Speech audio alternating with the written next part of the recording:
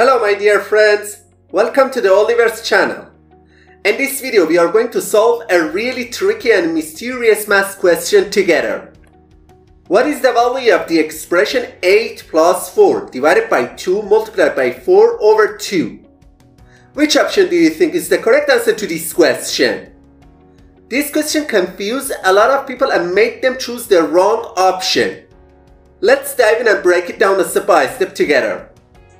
And the first step to solve this question, many people go straight to the expression 8 plus 4 in the numerator of this fraction and replace the whole expression with 12 divided by 2 times 4 over 2.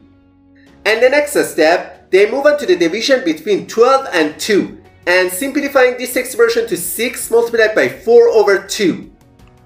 Then they say the 2 in the denominator and the 4 in the numerator of this fraction can be simplified and the final answer will be 12. And without any hesitation, they quickly conclude that option D is the correct answer to this question. But this answer is absolutely wrong. Now let me walk you through step by step how to solve this expression properly. To solve this question, we must strictly follow the steps outlined by the PEMDAS rule. It means that we need to carry out all the operations from top to bottom in order. Alright, as you can see in the image, in the numerator of this fraction, we have an addition sign, then a division sign, and finally a multiplication.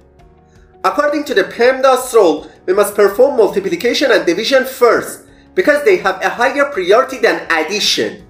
However, it's very important to remember that multiplication and division are at the same level of priority. In this case, the best thing to do is to start from the left side of the expression and carry out the multiplication and division step by step. So, first we go for the division between 4 and 2. And we can rewrite the whole expression as 8 plus 2 times 4 over 2. And the next step, it's time for the multiplication between 2 and 4, which simplifies the expression to 8 plus 8 over 2. Finally, we handle the addition in the numerator and simplifying this expression to 16 over 2, which ultimately gives us the answer 8. Therefore, option C is the correct answer to this question.